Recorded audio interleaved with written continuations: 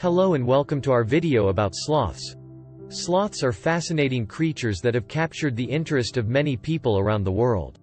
In this video, we will explore the world of sloths, their characteristics, and their advantages and disadvantages as animals. Sloths are mammals that belong to the family Bradypodidae and are known for their unique appearance and behaviors. They are found in Central and South America and are divided into two main groups, two-toed sloths and three-toed sloths. Despite their name, both types of sloths actually have three toes on their hind limbs, but they differ in the number of toes on their front limbs. Sloths are well adapted to their arboreal, tree-dwelling, lifestyle. They have a slow metabolism and move at a very leisurely pace, making them one of the slowest mammals on Earth. Their bodies are specially designed for life in the treetops. They have long, curved claws that allow them to hang upside down from branches and move with ease in the canopy. One distinctive feature of sloths is their shaggy, coarse fur. This fur is often covered in algae, which gives sloths a greenish tinge and helps them blend into their surroundings. The algae also provide camouflage and additional nutrients. The fur's texture and coloration also act as a form of protection against predators. Sloths are herbivorous, primarily feeding on leaves. Their diet consists mainly of the leaves of specific tree species, which provide them with the necessary nutrients. However, leaves are low in nutritional value, so sloths have adapted by having a slow metabolic rate and a large, specialized digestive system to extract as much energy as possible from their food.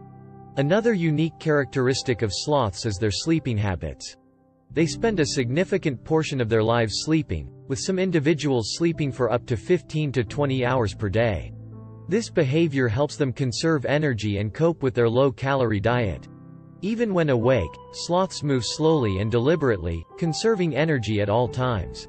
Sloths have a symbiotic relationship with algae and certain types of moths. The algae provide camouflage and nutrients, while the moths use the sloth's fur as a habitat and a source of nutrients. These interactions are examples of the intricate web of relationships found in ecosystems and highlight the importance of every species, no matter how seemingly insignificant.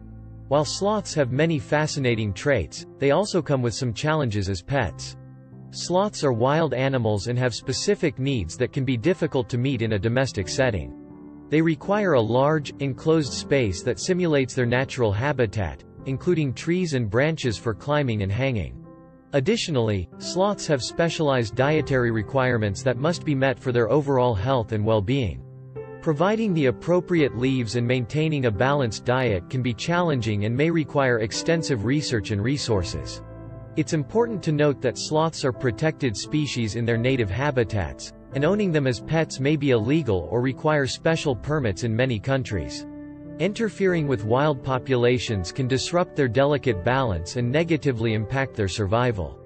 In conclusion, sloths are captivating creatures with unique characteristics and behaviors.